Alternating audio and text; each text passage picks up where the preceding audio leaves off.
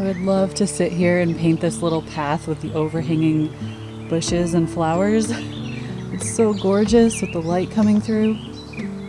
But right now, with social distancing, it's not really fair of me to just kind of plop down in the middle of the path and claim it as my own. because whenever someone walks by, we have to kind of move out of each other's way and maintain two meter distance. So for now, I need to keep looking for another spot, but I'm definitely going to take some reference photos of this area.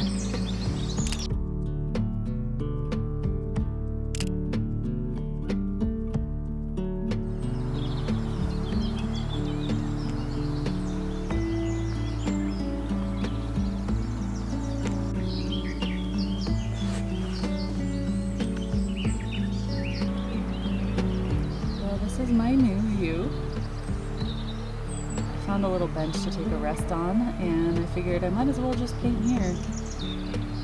Even though this isn't necessarily the composition I would have loved to choose, I might just crop it in and see what I can find there in the distance that's interesting to paint.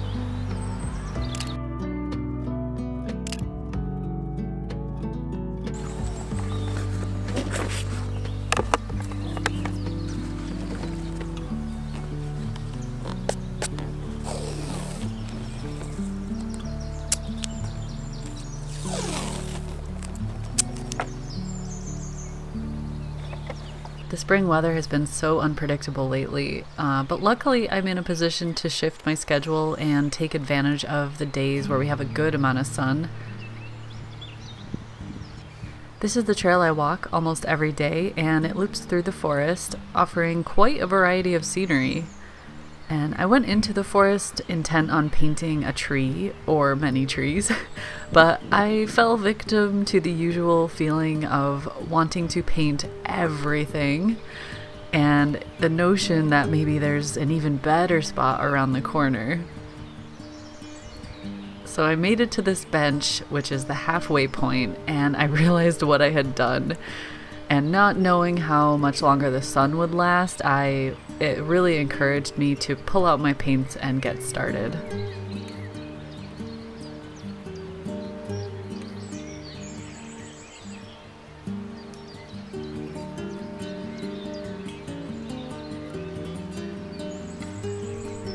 As some of you have seen, this is my new sketchbook that I made myself with Arches cold pressed paper, and I promised I would film the first page for you.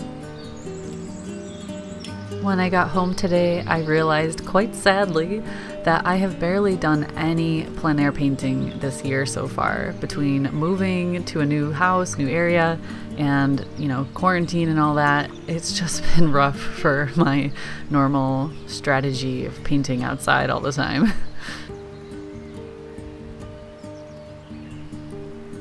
As you saw earlier in the video, I was taking a lot of photos along the trail, and that is just a normal part of my routine when I go out for walks or go out to paint. On a day like today, where everything just looks gorgeous, I am able to capture a ton of reference that really helps fuel my inspiration back in the studio.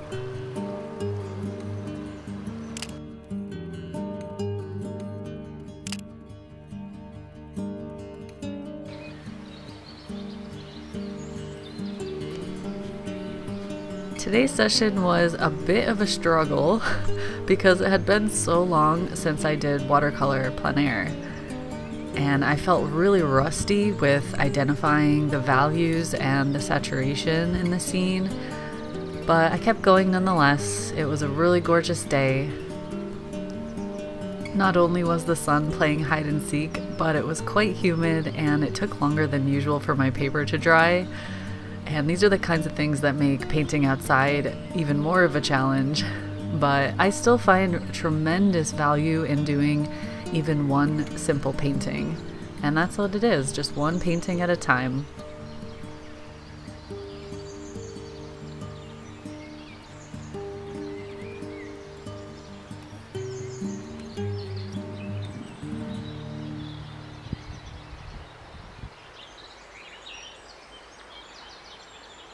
For this painting, I decided to do something a bit different and create a box around the majority of the distant landscape elements.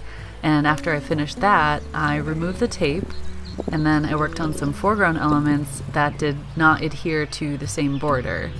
And I don't know, I've just been trying to have fun, think of new ways I can paint in my sketchbook and make it more interesting.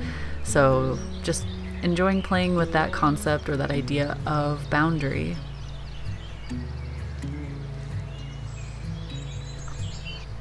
Another struggle I faced today was that I'm still getting used to my new selection of colors. Uh, at the beginning of May, I completely renovated my entire watercolor collection to be more earth friendly, getting rid of all my cadmiums and cobalts and such. Uh, and I am definitely still longing for some of the colors that I cut from my palette. Uh, that itself adds a bit of frustration to the process, but I know I'll get used to them the more I use them. If you can believe it, I'm still waiting after nearly a month for two tubes of paint to arrive, which will be the anthraquinone blue and quinacridone magenta. But once they're here, I can finish the video all about my new palette, and I'm really looking forward to sharing that with you all and talking to you about it. All in all, today's session was a success for the amount I learned although I wasn't as happy with my painting as I had hoped to be.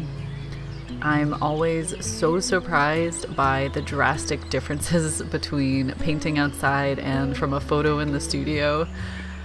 Uh, I think quite often, well, myself included, we get confident in the studio and then we go outside only to realize we struggle to see color or value, and that can be kind of disheartening but I know from experience that this is a skill that can be improved on, and I am always happy to spend time in nature doing just that.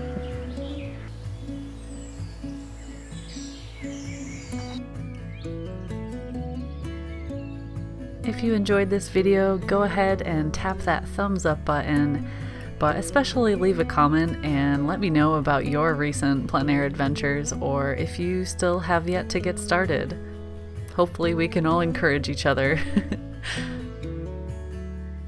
Try to stay inspired, and I will see you again soon.